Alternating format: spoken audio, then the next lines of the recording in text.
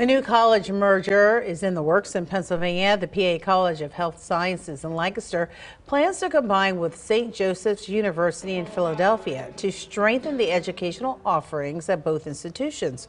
The nursing programs will now be introduced at St. Joseph's while maintaining a strong and close relationship with Penn Medicine.